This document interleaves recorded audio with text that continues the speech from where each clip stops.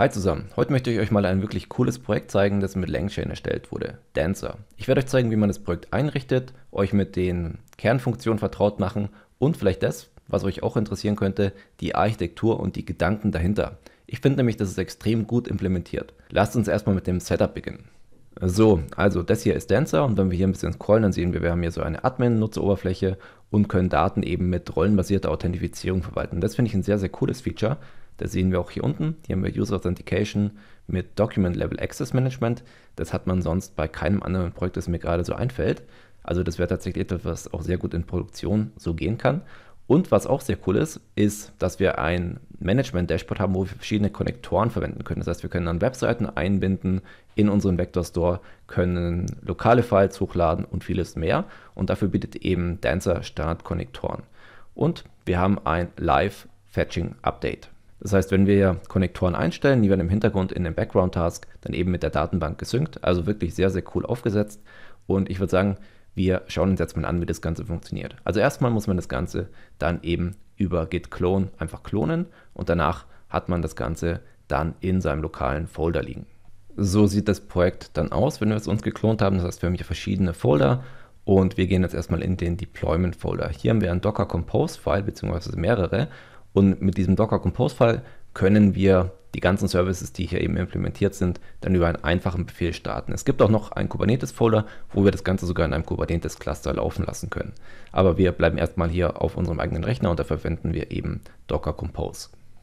Den Befehl für den Docker Compose Start, den finden wir hier in den Docs, hier unter dem Reiter Deployment.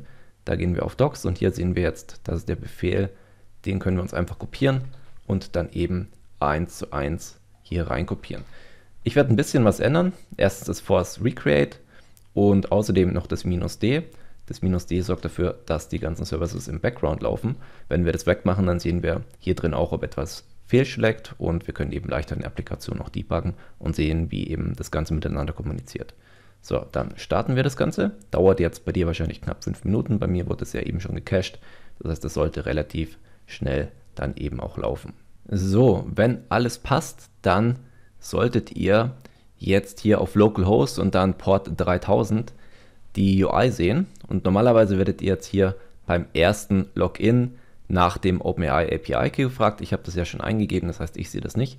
Wenn ihr diesen allerdings noch ändern wollt, dann könnt ihr das hier unter dem Admin Panel machen und dann hier unter Keys OpenAI hier den alten Key löschen und hier einfach einen neuen Key eintragen, damit wir eben auch mit OpenAI kommunizieren können. Okay, jetzt gucken wir uns mal an, was eigentlich im Admin-Panel so alles möglich ist. Also wie gesagt, eines der coolsten Features finde ich diese Konnektoren, wo wir eben einfach über eine UI dann Daten indizieren können. Für lokale Files können wir einfach Drag and Drop verwenden und hier dann einfach Files ablegen, die werden dann eben indiziert und entsprechend in den Vector Store reingeschrieben. Ich zeige euch das Ganze nochmal mit Web, also noch mit einem zweiten, mit einer zweiten Option hier. Wie gesagt, gibt da eben auch Slack, es gibt Jira und so weiter und so fort. Für Web möchte ich jetzt einfach mal hier eine Seite von Kicker analysieren. Und zwar das Spiel Bayern gegen Leipzig vom letzten Wochenende. Und wenn wir das hier eintragen, dann sehen wir jetzt, der Status ist enabled, allerdings können wir das jetzt noch nicht nutzen. Jetzt wird ein Background-Task gestartet, wo wir dann eben diese Dokumente, die werden jetzt ausgelesen und dann gesplittet und dann in diese Vektordatenbank reingeschrieben und eben auch die Embeddings dafür erzeugt. Das heißt, hier sehen wir dann jetzt im Progress und jetzt müssen wir einfach ein bisschen warten, bis dieser Background-Task eben abgeschlossen ist und dann können wir sozusagen gegen diese Dokumente chatten und gucken, ob wir die Information aus dem Vector Store als User dann eben rausbekommen. Okay, das ging relativ schnell. Ich bin gespannt, ob es funktioniert. Ich habe eigentlich erwartet, dass hier mehr Dokumente rauskommen als nur eins. Müssen wir auch mal gucken, wie man das irgendwie noch granularer einstellen kann. Aber wenn wir mal hier drauf gehen und jetzt einfach AI-Search machen, wie hat Bayern gegen Leipzig gespielt.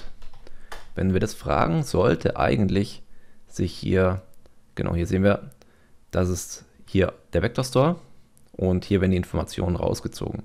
Und hier sehen wir auch die richtige Antwort. Bayern hat gegen Leipzig 2-2 gespielt und eben auch diese Analyse in der ersten Halbzeit. Hoppla, hier ist jetzt irgendwie ein Fehler passiert. Ähm, machen wir nochmal. Genau, also hier sehen wir jetzt eben Bayern hat 2-2 gespielt und Kane Elfmeter und dann so weiter und so fort. Also das passt und wir sehen, dass eben auch entsprechend die richtigen Informationen aus dem Vector Store gekommen sind. Also ich finde das sehr cool. dass eben auch das mit dem Webscraper funktioniert. Und jetzt möchte ich euch aber nicht nur zeigen, wie das Ganze funktioniert und was man damit eben so machen kann, sondern auch mal die Architektur hinter Dancer. Dancer hat dafür eine sehr schöne Grafik und die findet man in der Dokumentation unter System Overview. Hier gibt es diese System Architecture und ich finde, die beschreibt sehr gut, was das eigentlich macht. Also wie man sehen kann, wir sind in einer Docker-Umgebung, also laufen sozusagen auf einer virtuellen Maschine und jetzt gibt es zwei Perspektiven. Erstens die User-Perspektive und dann die Admin-Perspektive. Wir betrachten erstmal die Admin-Perspektive und zwar haben wir eben diese Konnektoren, das heißt wir können Confluence anbieten, Google Drive, ServiceNow, Files oder auch einfach Websites und das funktioniert wunderbar und diese Anbindung oder dieses Synken funktioniert über einen Background-Task. Hier wird ein sogenannter Salary-Job gestartet und der schreibt dann diese Daten, die wir hier connecten, dann in die Datenbank rein und managt das Ganze dann eben über Authentication und so weiter auch in Postgres. Dann haben wir noch die andere Perspektive und das ist die Nutzerperspektive. Hier macht der Nutzer einen Request, also stellt eine Frage und Nginx handelt dann das Ganze. Das heißt, der arbeitet hier als Proxy oder Reverse Proxy, leitet den Traffic weiter an den API-Server. Dann nehmen wir eben diesen Query, machen eine Ähnlichkeitssuche über den Vector Store, kriegen hier Informationen zurück, schicken das Ganze in OpenAI, kriegen das Ganze zurück und dann zeigen wir das am Ende auf der Website. Und das ist eben dieser Flow und der ist komplett unabhängig. Das heißt, wir haben diesen API-Server, der hat allerdings keine Last, wenn wir dort neue Dokumente einspielen. Das heißt, das ist komplett voneinander entkoppelt und das ist eine ziemlich clevere Lösung. Also was wir letztlich haben, ist eine wirklich ausgeklügelte Microservice-Architektur.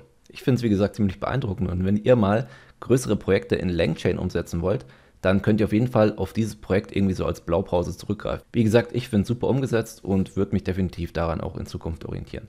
Also, wenn euch das Video gefallen hat, freue ich mich wie immer über ein Like und ein Abo. Wir sehen uns, bis bald. Ciao.